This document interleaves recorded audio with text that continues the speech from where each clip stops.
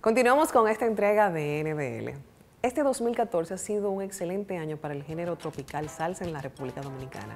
Sus exponentes han logrado posicionarse dentro y fuera del país como verdaderos talentos. Ellos son sencillamente especiales. Es un placer recibirlo nueva vez en NBL. A Chiquito Timbam. Bienvenidos chicos. Rafael, Emmanuel. Para esta fecha, el año pasado estaban aquí. Gracias a Dios. Buenas noches, Luz. Nosotros encantadísimos, como siempre, de venir a tu programa. Un programa muy especial para nosotros. Gracias por darnos la oportunidad nuevamente. Para esta fecha eh, estuvimos por acá el año pasado y para nosotros fue toda una bendición porque a partir de ahí comenzó nuestra carrera a abrirse por todo el mundo. Gracias como siempre por darnos la oportunidad. a ustedes. Y de verdad que en ese momento se vislumbraba todo lo bueno que venía para, ustedes. Y ha sido así. ¿Pueden pasar ustedes balance de lo que ha sido este 2014 en el plano profesional?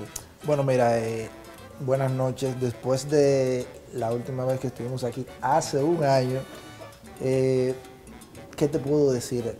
Resumido, Premio Soberano, Revelación del Año, dos veces en lo que es el Estadio Olímpico, una eh, gira internacional hacia Estados Unidos con 38 bailes, una gira a Europa de 10 bailes y un sinnúmero de cosas que han pasado, un premio Conga, que es un premio ya dominicano de lo que es salsa, también como revelación. ¿Y qué puedo decir de lo que más, lo que más uno se ha llevado es la satisfacción de saber que a la gente le ha agradado lo que hemos hecho en nuestro país. A solo dos años de su salida, como, dueto, como grupo. ¿Se lo vislumbraban? ¿Lo esperaban? ¿Esperaban eh, que fuera tan rápido? Realmente no, porque cuando nosotros comenzamos como agrupación, nosotros sabíamos que se podía eh, llevar un tiempo para que la gente pueda percibir nuestra música, pero en corto tiempo logramos conectar con el público. Para nosotros fue una sorpresa que con tan solo un año nosotros estar en el gusto popular con la salsa. Bueno, de hecho, eh, y se los comenté antes eh, de formalmente conversar con ustedes ante las cámaras, que Gilberto Santa Rosa me mencionaba entre eh, los destacados dentro de la salsa a ustedes como exponentes musicales. Mira, para nosotros, es un honor. Eh. Eh, nosotros nos hemos tenido que enfrentar a, una realidad y es de, poder compartir con personas que nosotros lo tenemos como patrones, como referentes y que nosotros lo tenemos como ídolos. Mira, cuando estuvimos en Estados Unidos nos llenó de placer que una persona como Ralph Irizarry, estamos hablando del, timbalero de Rubén Blay, ir al apartamento donde estábamos porque él simplemente quería conocer esas personas que habían logrado una orquesta de salsa dominicana con un ritmo tan contagioso. Asimismo, eh, eh, aparte de Gilberto y Víctor, ya como dijo Luz, José Alberto el, Canario, Canario, Oscar de León. Los muchachos de Proyecto A. Proyecto A, por Baloa. ustedes que están haciendo diferente, que tienen este reconocimiento de grandes exponentes? Bueno, yo entiendo que hemos conectado con lo que es la parte rítmica y Manuel que hace una armonía que realmente no se estaba haciendo, es algo moderno, porque Manuel es, era nada más arreglista de merengue. Entonces hemos hecho una química, yo como percusionista y él como pianista, y nos ha dado un buen resultado, un ritmo jocoso, con, uno, con unos metales bien agradables, bien frescos, y eso le ha gustado mucho al público. ¿Tuvieron la oportunidad de ver a sus colegas en el pasado Festival Presidente? Sí, fue algo muy emotivo porque, ¿sabes? Nosotros acabamos de llegar de la gira de Europa, no tuvimos tiempo de ensayar eh, y nos sentíamos bien agradados porque ahí pudimos confirmar lo que está pasando con la salsa. No es solo eh, la música, sino el compañerismo, la amistad.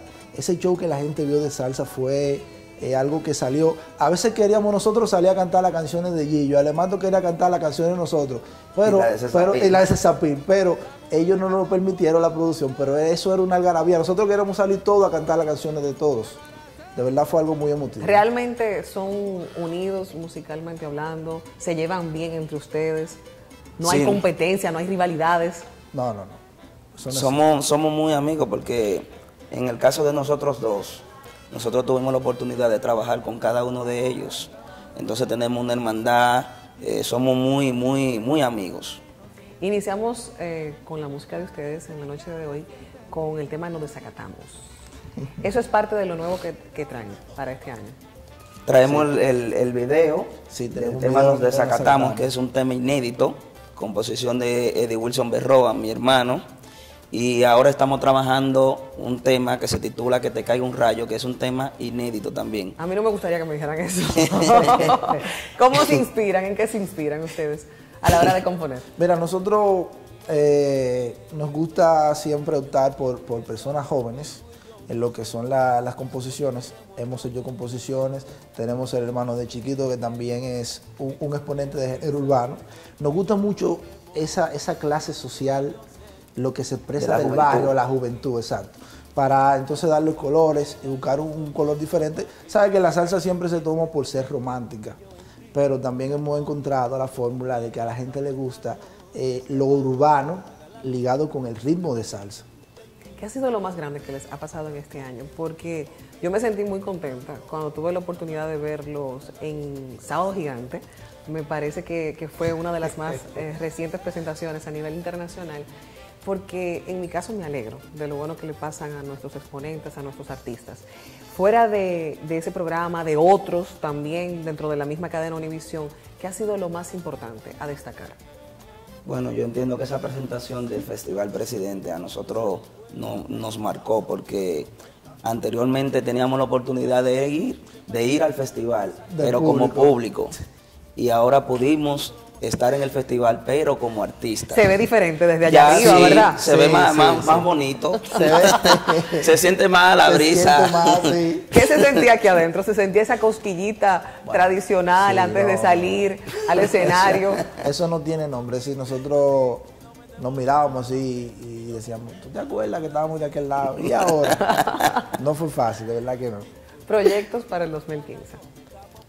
Bueno, ya estamos en proceso de la, de la elaboración de la segunda producción. Nosotros no nos paramos de, de trabajar.